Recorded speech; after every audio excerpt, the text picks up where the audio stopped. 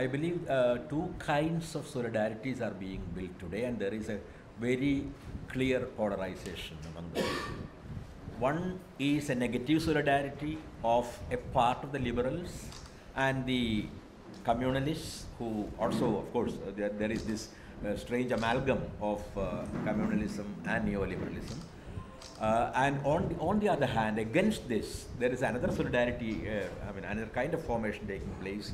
uh, because this is a unique historic moment when it seems that the destinies of the peasants and the workers, and even of the intellectuals and the writers and uh, cultural activists, uh, have all come together. Have, I mean, by by the force of circumstances, it looks like that there is there is such a unity being built up uh, across the country. I mean, not not confined to any particular part of the country, across the country, and and and this uh,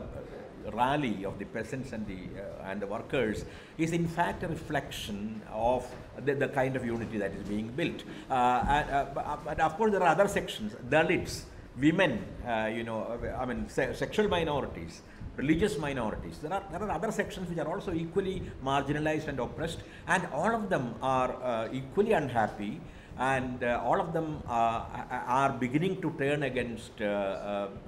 I would not say the state, but at least the government. And, and, and, uh, and so I think that uh, this is, an, uh, this is an epochal moment in, in Indian history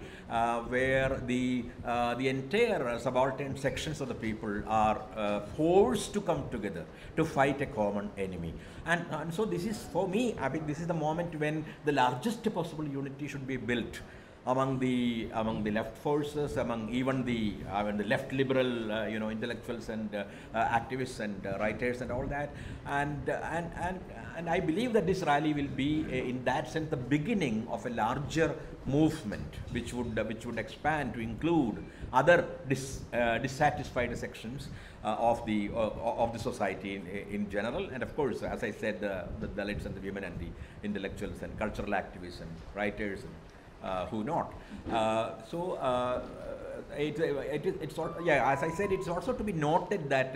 at least a section of the liberals are also going that side towards the right. Uh, which which has happened all, all through. I mean, I, I, so I am not saying that this is fascism in the in the, in the because the, the, word has become so confusing. I would say there is a kind of authoritarian tendency, obviously, in the government, and uh, and wherever authoritarianism has grown, whether it is in uh, you know in Italy under Mussolini or in Germany under Hitler or in Spain under Franco or as you see today Viktor Orban or uh,